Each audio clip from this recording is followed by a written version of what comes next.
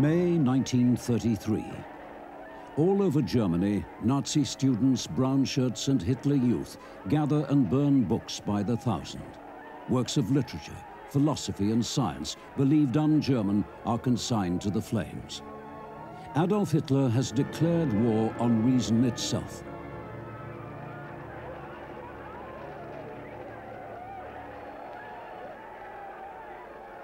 People set us down as enemies of intelligence, proclaims Hitler. We are, but in a much deeper sense than those conceited dolts of bourgeois scientists ever dream of. Hitler's revolt against the intellect is to be enshrined in a new religion, a religion devoted to the mysteries of blood and race. The old beliefs will be brought back to honor again, Hitler declares the whole secret knowledge of nature, of the divine, of the shapeless, the daemonic. We will wash off the Christian veneer and bring out a religion peculiar to our race. The religion of blood of which Hitler speaks will pave the way to the murder of millions. Yet, the Nazi creed of race is not of Hitler's own creation. Its roots lie in the teachings of Germanic mystics and the doctrines of the occult.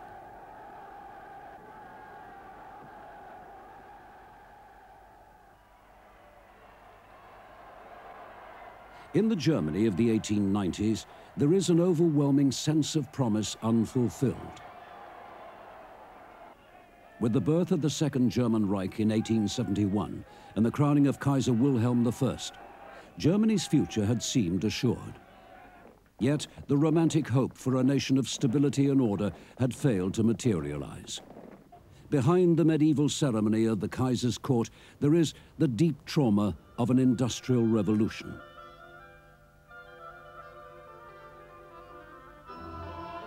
Peasants abandon the land in their millions, flocking to the cities artisans and craftsmen find their livelihoods swept aside by the onslaught of mass production.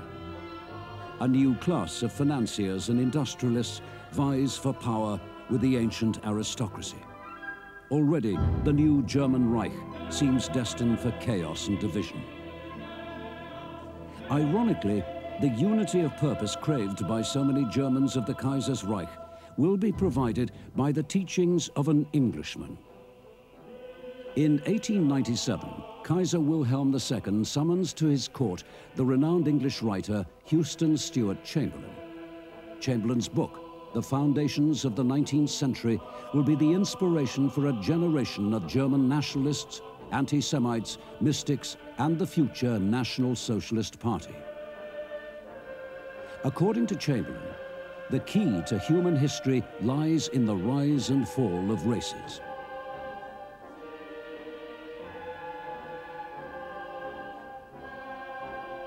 Chamberlain idolizes the Teutonic race as the creator of culture and of all true civilization. The German mind, writes Chamberlain, must guide the Aryan peoples to racial supremacy and world domination. Kaiser Wilhelm will later write to Chamberlain, It was God who sent your book to the German people, and you personally to me. Chamberlain preaches that an affinity with the mystical is rooted deep in the Aryan character. And he writes, every mystic is, whether he will it or not, a born anti-Semite. In the Prussia of the late 19th century, Jews remained excluded from the army officer corps, from the judiciary, and from the higher ranks of the civil service. Throughout Europe, such measures had been defended for centuries by questioning the moral qualities and the political loyalties of non-Christians. The writings of Chamberlain will add to European anti-Semitism a new and sinister dimension. Jews will be seen not as a religious community, but as an alien and enemy race. In Chamberlain's racial doctrines, the aim of the Jewish people is to corrupt the blood of the Aryans by racial mixing. The result, he warns, will be physical and moral degeneration and the end of the dream of Aryan world power. The only course is to purge Germany of Jews and all racial aliens. The key to the German mission, Chamberlain believes, is the creation of a truly Teutonic religion a religion founded on the sacred mystery of Aryan blood. As Chamberlain's racial doctrines spread throughout Germany, in Austria, a blood religion is already taking shape. By the beginning of the 20th century, the ethnic Germans of Austria have come to see themselves as a people under siege. Once the rulers and administrators of the great Austro-Hungarian Empire, Austrian Germans are now a minority in a state dominated by Slavic peoples. Civil servants are required to speak Czech as well as German. Czech priests have been allocated large numbers of German parishes. German language and culture seem in mortal danger. In the eyes of many Austrian Germans, the Catholic Church appears utterly committed to supporting Slavic interests. The result is widespread hatred for a religion which appears both hostile and treacherous.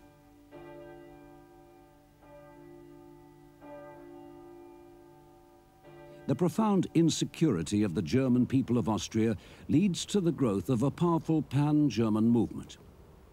Its aim is the unification of all Germans in a single fatherland.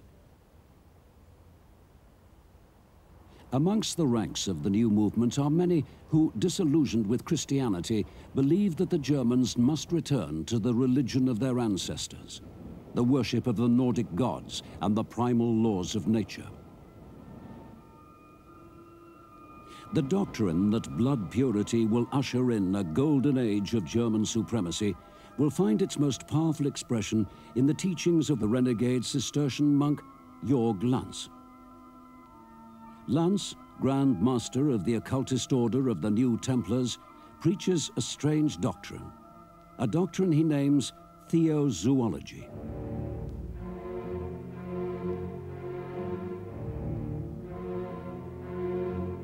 In the distant past, the Atlanteans, the fourth root race of creation, had split into pure and bestial species.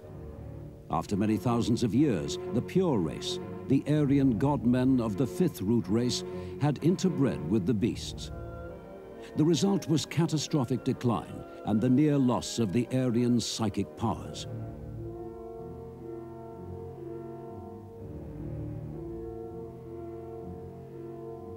Lanz believes that the ancient Germanic tribes had, by imposing strict race laws, purified their blood, retrieving traces of the Aryans' divine nature.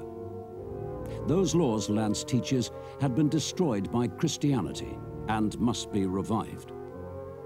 The result, over many generations, would be the breeding of a superior type of human, a God-man, destined to rule the world.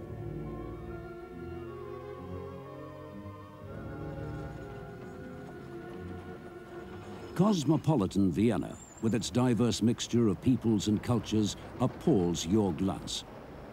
To him, the chaos of the modern world represents a final battle. A battle between the blonde races with their strong traces of Aryan blood and the subhumans, the races whose blood is dominated by that of the beasts. From 1905, Lanz's prescription for racial salvation he publicizes in his own immensely popular journal Ostara. The Germanic ruling classes Lanz proposes, the racially purest of all Germans, are to be encouraged to reproduce, polygamy, and a selective human breeding program would serve to reclaim blood purity. As for the lower classes, their poverty indicates racial inferiority, and they must be enslaved or sterilized. Marriages between Germans and inferior races would be illegal and punished by a starvation diet. Jews, the Aryans' deadliest enemies, would be used as beasts of burden, deported to Madagascar, or incinerated. From modest premises in Vienna, Jörg Lanz's Ostara is distributed throughout the German-speaking world. In 1909, Lanz is visited by a 20-year-old poverty-stricken painter. Adolf Hitler is in search of back copies. He is anxious to complete his Ostara collection. When Hitler moves to new lodgings, a men's hostel at 27 Meldemannstrasse, he takes his collection of over 50 copies of Ostara with him. Like many of his fellow German Austrians, Hitler had seen the Jews as an alien religion.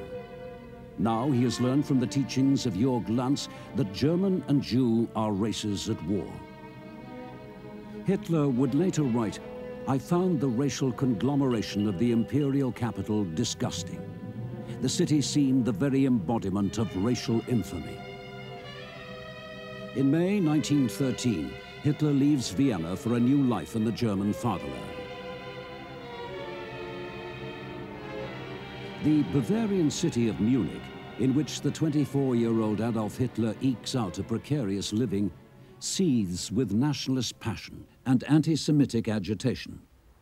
Here, as in Vienna, secret societies and occultist circles proliferate, fueled by the uncertainties of the modern world. To their educated and aristocratic members, the teachings of Jörg Lanz and the German occultists are infinitely reassuring.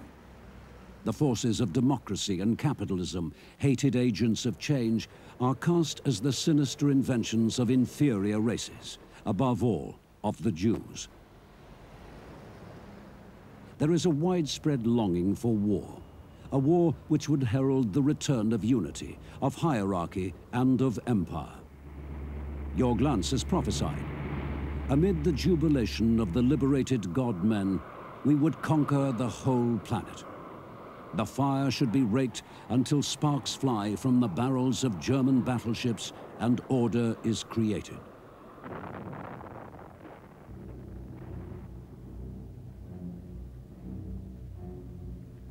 On August the 1st, 1914, in Munich's Odeonplatz, the war eagerly awaited by German nationalists is proclaimed to a jubilant crowd.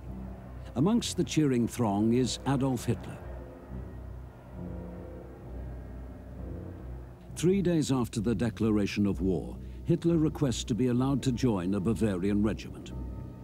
For me, Hitler will declare, as for every German, there now began the greatest and most unforgettable time of my earthly existence.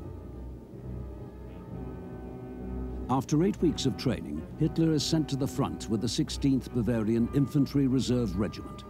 His first battle is at Ypres. On Hitler's first day in action, his performance leads to his appointment as a regimental runner, a member of the select band of frontline messengers. The following day, Hitler rescues his deputy commanding officer under fire. The exploit earns him promotion to Lance Corporal and the Iron Cross Second Class.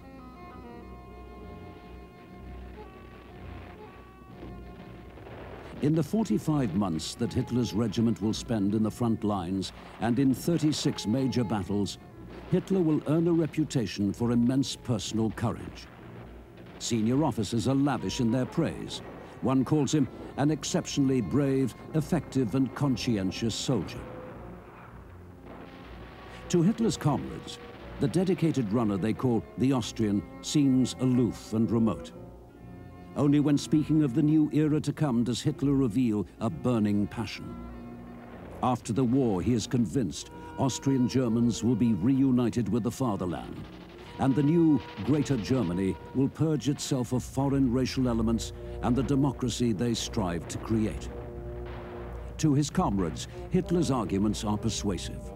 Almost no one, a fellow soldier would recall, could withdraw himself from Adolf Hitler's strong personality, and his opinions were accepted by most of us. In the summer of 1918, Hitler is awarded the Iron Cross First Class for his outstanding combat performance in almost four years at the front. It is a decoration seldom awarded to a soldier of such lowly rank.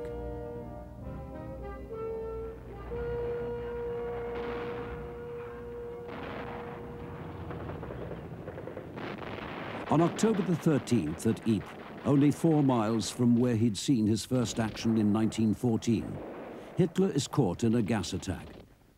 Almost blind, he is taken to a military hospital in Germany.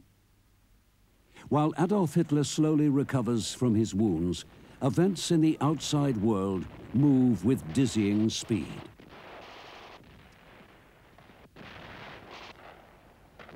A massive Allied offensive threatens to break through German lines. On the home front, Berlin has been paralyzed by strikers demanding peace and democracy.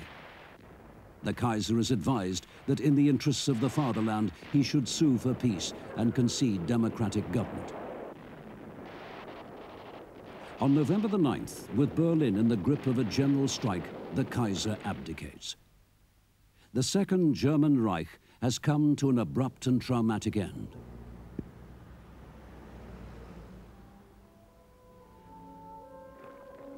As Germany plunges into anarchy, Adolf Hitler, still a serving soldier, returns to duty. First to his regiment in Munich, then as a guard at a prisoner of war camp 60 miles from the city. While his prisoners await repatriation, Hitler broods on the treachery of the armistice. To him, as to many of his comrades, the German army and people have been stabbed in the back by Democrats, Marxists, and above all, by Jews. The hatred grew in me, Hitler writes. Hatred for those responsible for this deed. My own fate became known to me. I decided to go into politics. Between March 1919, when Hitler returns to his unit in Munich, and March 1920, when he is finally discharged from the army, both Hitler and Bavaria will have been transformed. While Bavaria becomes first a Soviet republic, then a haven for nationalist counter-revolutionaries. Adolf Hitler becomes an army spy, joins the insignificant German Workers' Party and discovers his gift for oratory. While still in the pay of the Bavarian army, Hitler becomes the party's chief of propaganda. Hitler's constant theme is the removal of Jews from German life. From Jörg Lanz, Hitler had learned that the aim of the Jewish race is to sabotage the Aryan world mission.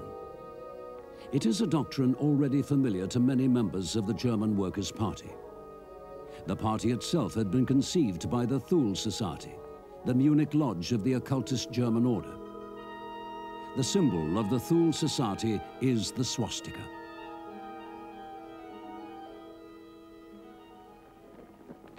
The party, renamed the National Socialist German Workers' Party, has yet to develop a fully fledged ideology. The molding of Hitler's racial beliefs into a coherent and all-embracing worldview will result from his close friendship with three men. Alfred Rosenberg, disciple of Houston Stewart Chamberlain. Dietrich Eckart, intimate associate of the Thule Society. And Rudolf Hess, future deputy Fuhrer of the Nazi Party. All are convinced mystics.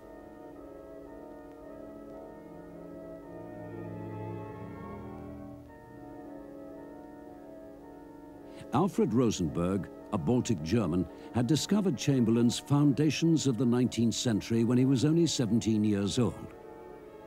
Personal experience of the Russian Revolution and the ensuing civil war seems to Rosenberg to confirm Chamberlain's racial doctrines.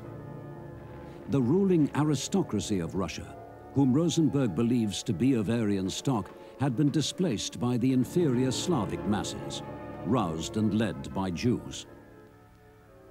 To Rosenberg, Bolshevism in Russia and the new democracy in Germany are part of the same worldwide Jewish conspiracy. His inspiration is a mysterious work known as the Protocols of the Elders of Zion. First brought to Germany by waves of Russian emigres fleeing the revolution, the Protocols purports to be a secret Jewish blueprint for world domination. In reality, it is a 19th century forgery perpetrated by the secret police of the Russian Tsar. In Munich, Alfred Rosenberg seeks out the well-known anti-Semitic journalist, publisher and poet Dietrich Eckart. It is Eckart who introduces Rosenberg to Adolf Hitler. Between 1920 and 1923, Eckart and Rosenberg will labor tirelessly in the service of Hitler and the party. Through Rosenberg, Hitler learns of the protocols and the works of Houston Stewart Chamberlain. Rosenberg speaks at the Thule Society meetings and edits the Völkischer Beobachter, the party newspaper originally owned by Thule.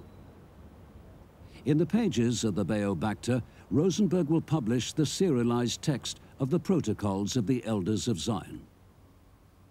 It is to raise funds for the party newspaper that Dietrich Eckart introduces Hitler to the influential circles that will increasingly support the fledgling Nazi party.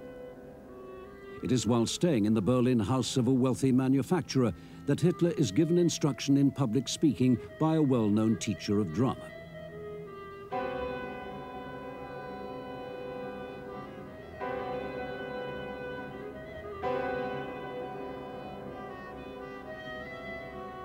Dietrich Eckart had introduced Hitler to his powerful friends as Germany's young messiah. Eckart will also lead to Hitler, the first of his followers to believe that description to be the literal truth. Rudolf Hess is, like Hitler himself, a disillusioned and embittered war hero. In May 1920, Hess had been taken by Eckart to his first Nazi party meeting and his first encounter with Adolf Hitler. In Hitler, Hess had, he believed, found the savior long prophesied in German occultist circles. The Stark von Oben, the strong one from above. The man who would lead the Germanic peoples to the dawn of an Aryan millennium. By 1923, much of Hitler's racial ideology has taken shape. The prejudices of his youth have been forged into a doctrine steeped in Aryan mysticism his faith in his Germanic mission is deepening. Now, after attending a nationalist rally near Bayreuth, Hitler makes a personal pilgrimage.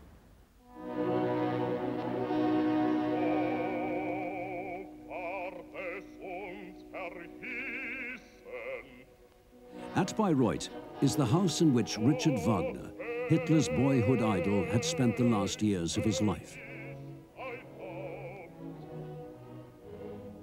The house, still the Wagner family home, had become a virtual shrine.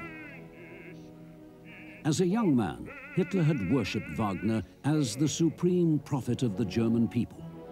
In Wagner's operas and in his anti-Semitic writings, Hitler now sees the highest confirmation of his own innermost convictions.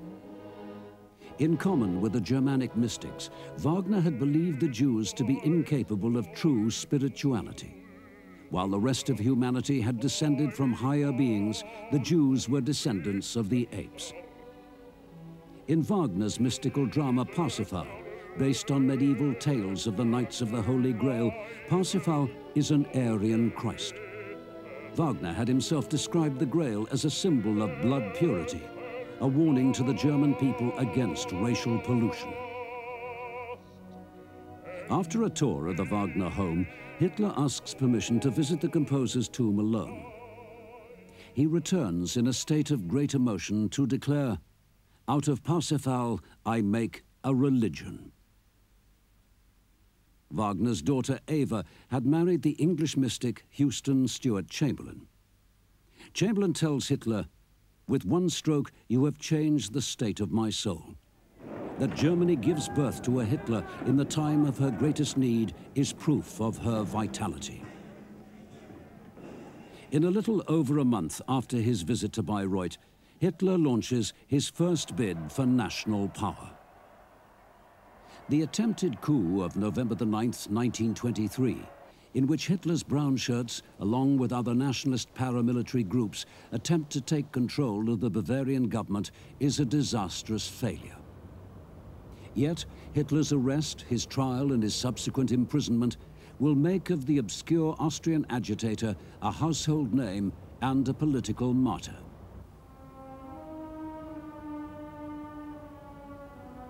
It is in the prison fortress of Landsberg that Hitler's beliefs, founded in a mystical faith in the destiny of the German race, take on a new and scientific character.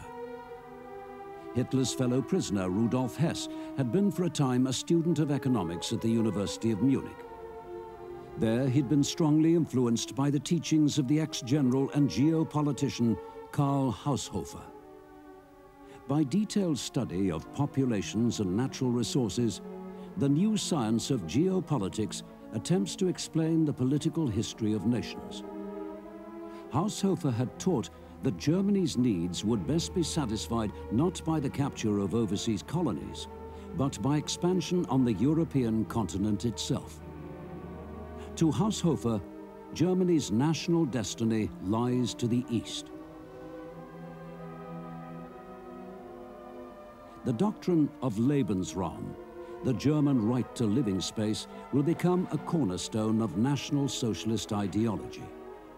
It will be a doctrine surpassed in importance only by the creed of race.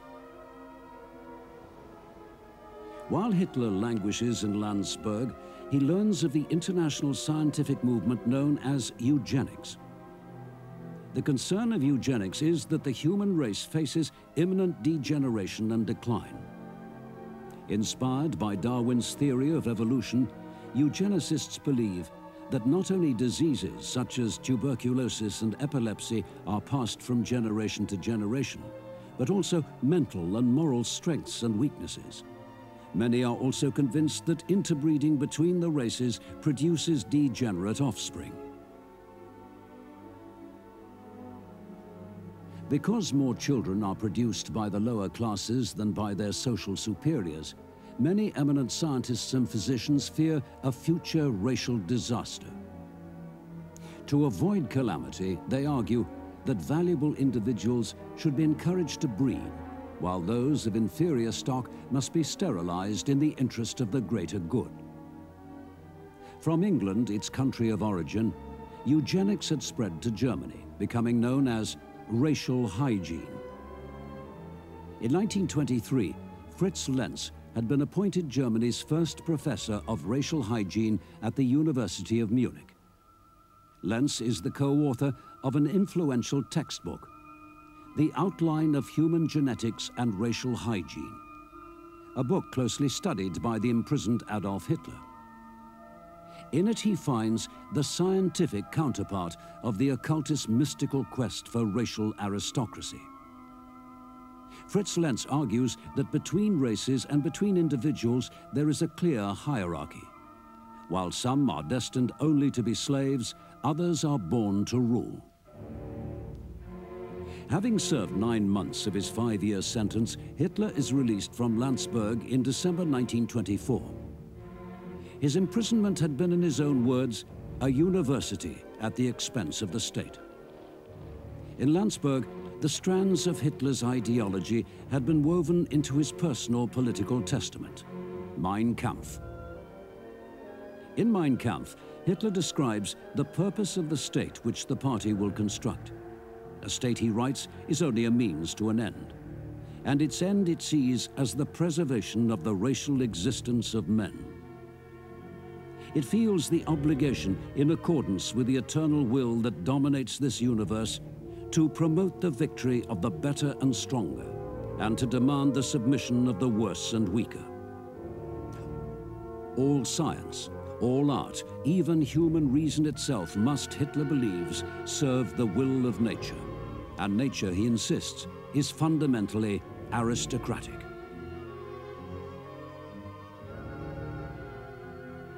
Having learned from the failure of the Nazi coup in 1923, Hitler commits the Nazi party to the pursuit of power by democratic means.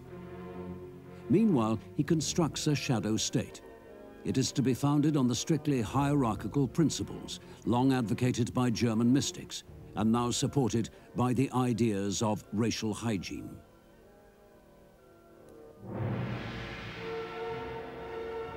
In every sphere of life, there is to be a leader, a Führer, with absolute power to govern his subordinates. Each Führer owes unquestioning obedience to his own leader. At the summit of the Nazi hierarchy is Adolf Hitler, the supreme Führer, the authority from which all power flows.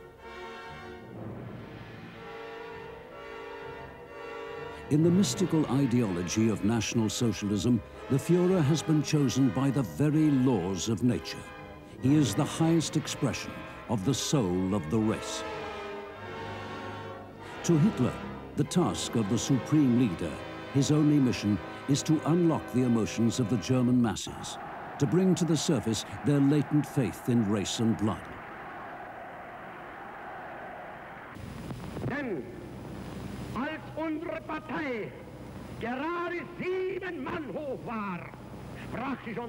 Grundsätze aus. Erstens, sie wollte eine wahrhaftige Weltanschauungspartei sein. Und zweitens, sie wollte daher kompromisslos die einzige Macht und alleinige Macht in Deutschland.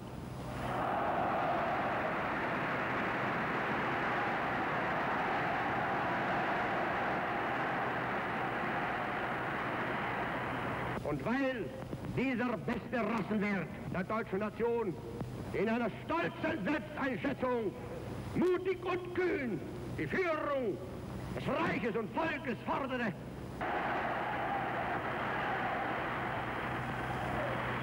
der sich als Träger seines besten Blutes fühlen und dieses Wissen zur Führung der Nation erhoben hat und entschlossen ist, diese Führung zu behalten wahrzunehmen und nicht abzugeben.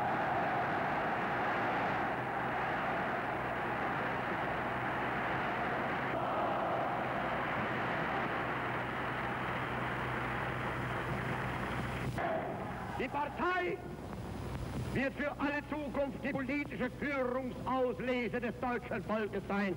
Sie wird in ihrer Lehre unveränderlich in ihrer Organisation stahlhart, in ihrer Taktik schmiegsam und anpassungsfähig, in Gesamtbild aber wie ein Orden sein.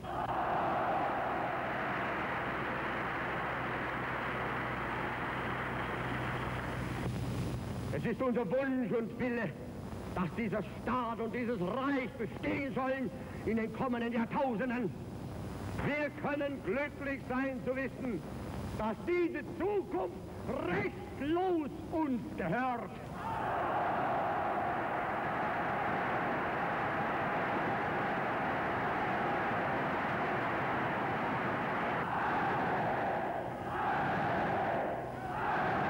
Es lebe die nationalsozialistische Bewegung! Es lebe Deutschland!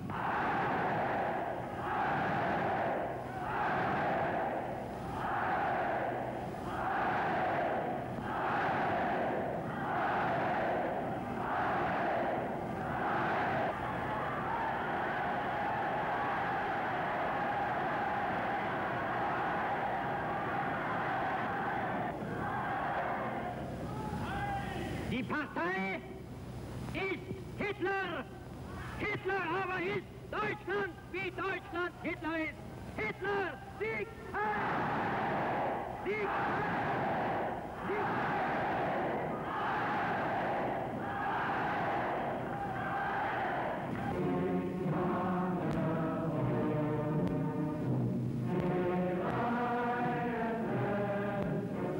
The triumph of Adolf Hitler is to many physicians and scientists of the racial hygiene movement a triumph for science.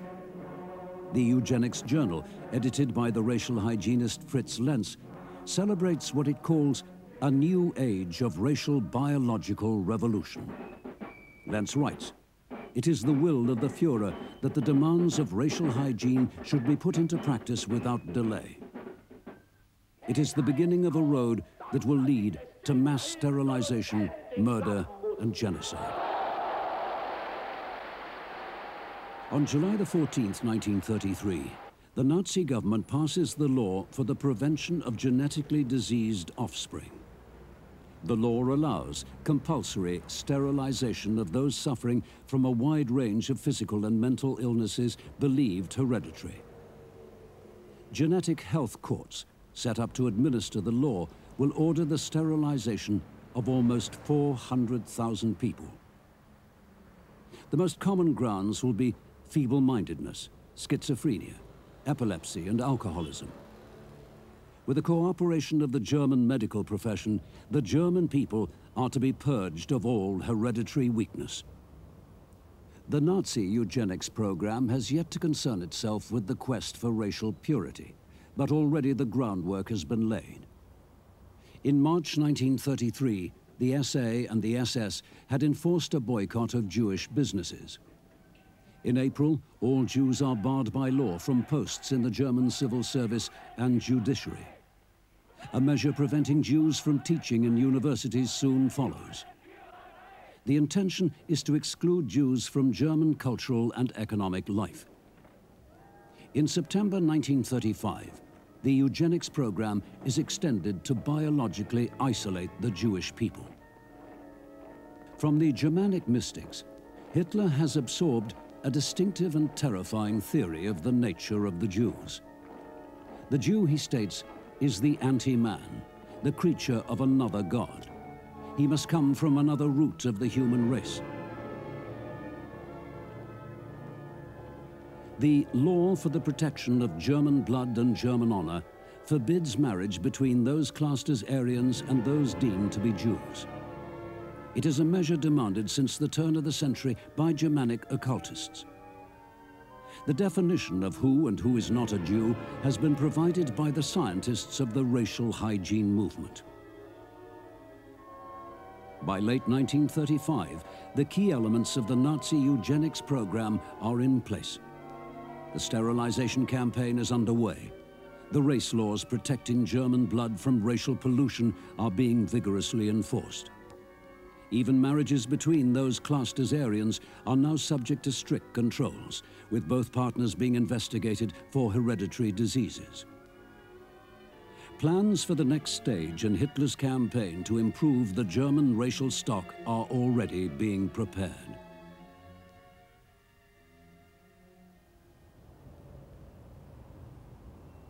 Hitler had announced to a Nazi party rally if Germany was to get a million children a year and was to remove seven to 800,000 of the weakest people, the final result might even be an increase in strength.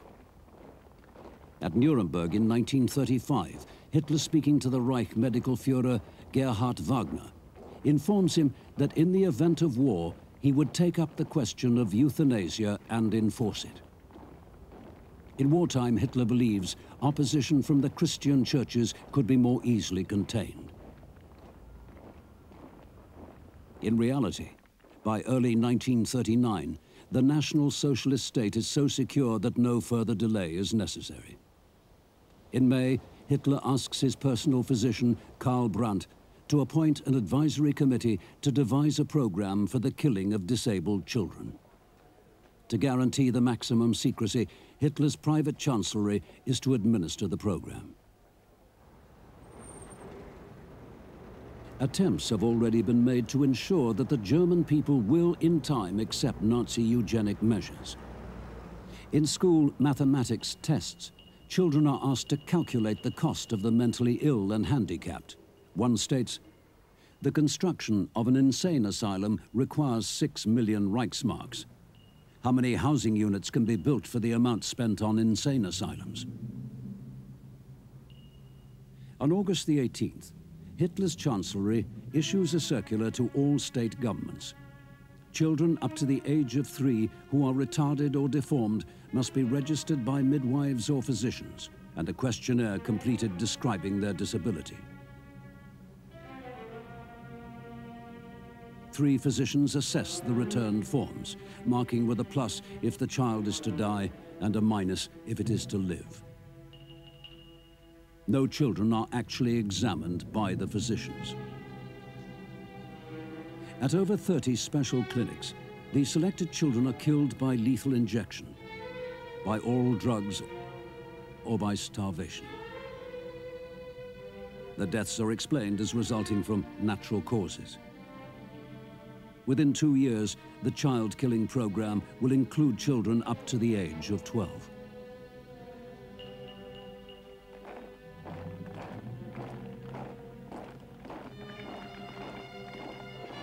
Man is becoming God, pronounces Adolf Hitler.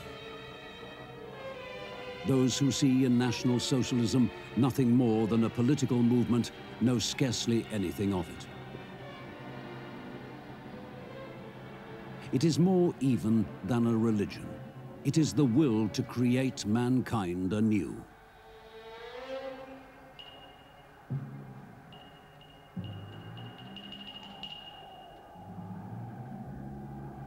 While the German medical establishment wholeheartedly commits itself to purging German racial stock of inferior strains, the task of breeding for strength is already underway. Each member of the SS is carefully selected for his physical perfection and the purity of his blood. Bound by solemn oaths and mystic rituals, SS men may marry only those of proven Germanic ancestry ensuring that over generations, the SS becomes a reservoir of the purest Aryan blood.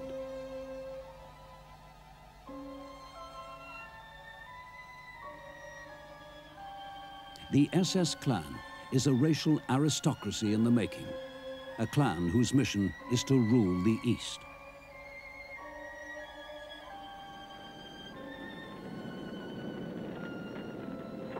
In September 1939, Hitler unleashes his armies on Poland. Seven years earlier, he had made his objectives clear. Our great experimental field is the East. There, a new European social order will arise. The Polish peasants are to be dispossessed. In their place are to be installed purebred Germans, selected and in time ruled by the SS.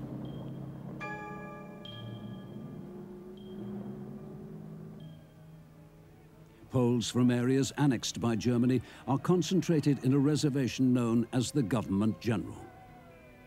Polish children deemed to have Aryan blood are kidnapped and taken to Germany as racially valuable stock. The Jews of the occupied territories are concentrated in city ghettos inside the government general. The SS Einsatzgruppen special action groups have orders to murder the most educated and influential sectors of the Polish population. They have also been instructed to open the next phase in the Nazi euthanasia program, the killing of those judged unfit for either breeding or labor. In Poland and in regions of Germany near the Polish border, thousands of inmates of psychiatric hospitals are taken and shot. Hitler's chancellery, guided by its team of medical advisors, has carefully considered the question of how many are to be killed in the German euthanasia campaign. It had been concluded that of every 1,000 people in the German population, 10 are mentally ill. Five will enter a psychiatric hospital. Of these five, one must die.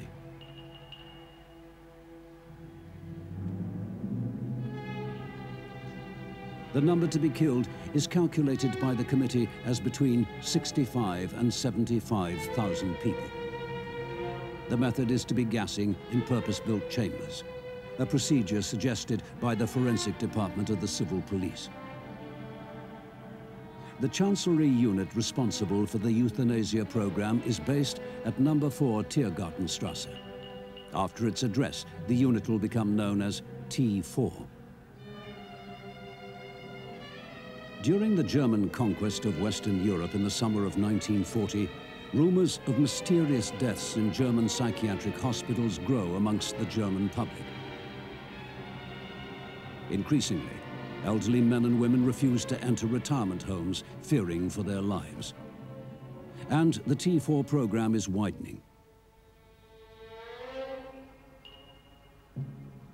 The residents of TB hospitals and workhouses will soon be included along with the mentally ill prisoners. In early 1941, the Reich Interior Ministry orders that all Jewish patients in German psychiatric hospitals be killed. The murders will be T4's first contribution to Hitler's coming campaign of racial annihilation. The campaign soon to be known as the Final Solution. In 1934, Hitler had described the crusade which he would launch against the Slavic peoples of the Soviet Union. We cannot in any way evade the final battle between German race ideals and Slav mass ideals. We shall take this struggle upon us. It will open the door to permanent mastery of the world. The name chosen for the invasion of Russia is Operation Barbarossa. In medieval legends, revived by the Germanic occultists, the Emperor Barbarossa, who lies sleeping beneath a mountain, would one day awake, unleashing German power in a fury of conquest.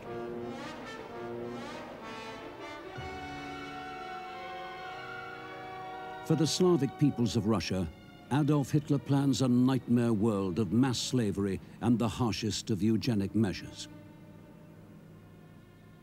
Hitler had insisted, we are obliged to depopulate as part of our mission of preserving the German people. We shall have to develop a technique for depopulation.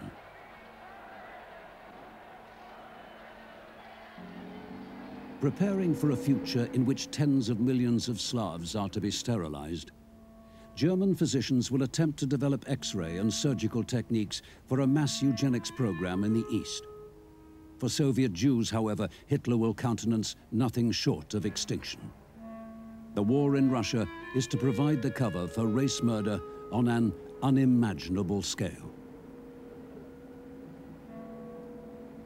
On October the 10th, 1941, Field Marshal von Reichenau tells the army divisions under his command, in the Eastern Sphere, the soldier is not simply a fighter according to the rules of war, but the supporter of a ruthless racial ideology. For this reason, soldiers must show full understanding of the necessity for the severe but just atonement required of the Jewish subhumans. Assigned to each army group is an SS Einsatzgruppe Special Action Unit. The Einsatzgruppen are responsible only to Heinrich Himmler, Reichsfuhrer of the SS.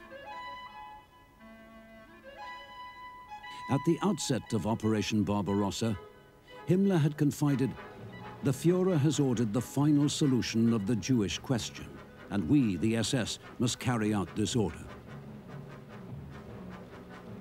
Himmler's reasoning is the terrifying blend of mysticism and science, now the hallmark of Nazi ideology.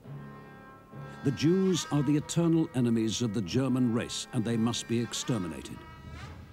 If we now fail to destroy the biological basis of Jewry, then one day the Jews will destroy the German people. The murder method adopted for the final solution in the East is mass shooting. By the autumn of 1941, Jews from Germany, Austria and Czechoslovakia are being deported to the killing grounds of the Soviet Union.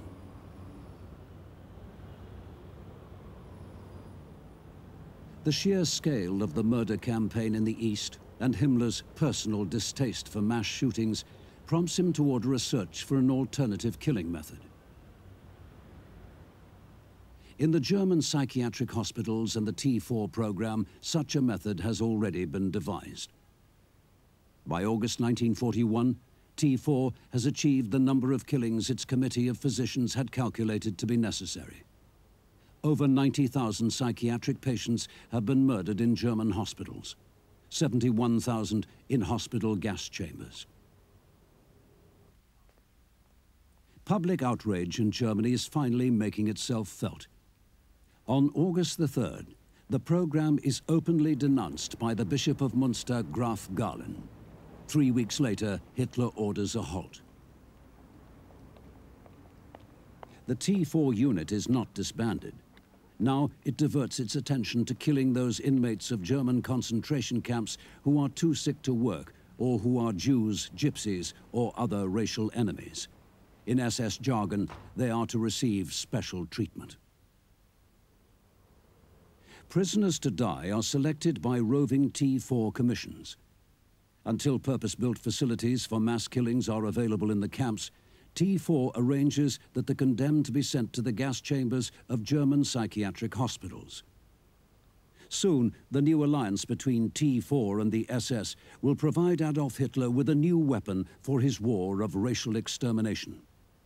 Together, the SS and T4 will develop the purpose-built death camp. In the summer of 1941, Heinrich Himmler orders the enlargement of Auschwitz concentration camp by the addition of a killing center. The gassing method will be tested on 600 Russian prisoners of war and 200 hospital patients. In October, Alfred Rosenberg, now Reichsfuhrer for the occupied Eastern Territories, invites T4 to assist in the liquidation of the Jews confined to the Polish ghettos. He requests assistance in constructing in the East what he calls the necessary buildings and gassing apparatus. The channel of communication between Rosenberg and the SS is the office of Adolf Eichmann. It is Eichmann to whom Himmler entrusts the details of murdering an entire race. Eichmann's superior, Reinhard Heydrich, is to coordinate the operation. The decision to construct centers in the Eastern Territories for mass killings by gas is taken in October 1941. That same month, all Jewish emigration from Germany to foreign countries is banned. Instead, in the words of Reinhard Heydrich, Europe is to be combed from east to west for Jews.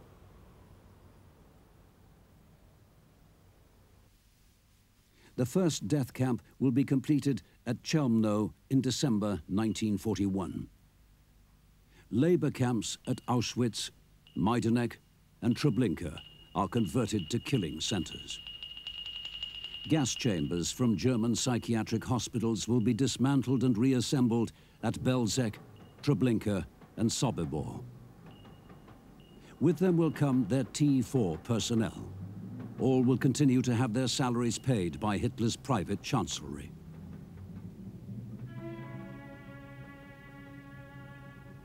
Since the turn of the century, the scientific dogmas of eugenics and the Aryan fantasies of Germanic occultists had been slowly fused into a single doctrine of racial supremacy and annihilation. Now in the death camps, the techniques devised by German physicians are to be used to destroy a racial enemy identified by mystics.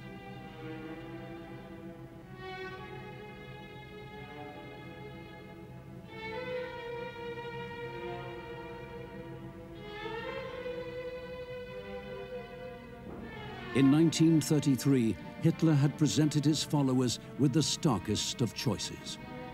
For our people, it is decisive whether they acknowledge the Jewish Christ creed with its effeminate pity ethics, or a strong, heroic belief in God in nature, God in our own people, in our destiny, in our blood. By choosing the race creed of the blood, Adolf Hitler and his disciples will make of Europe and the Soviet Union a single vast realm of suffering, of horror, and of death.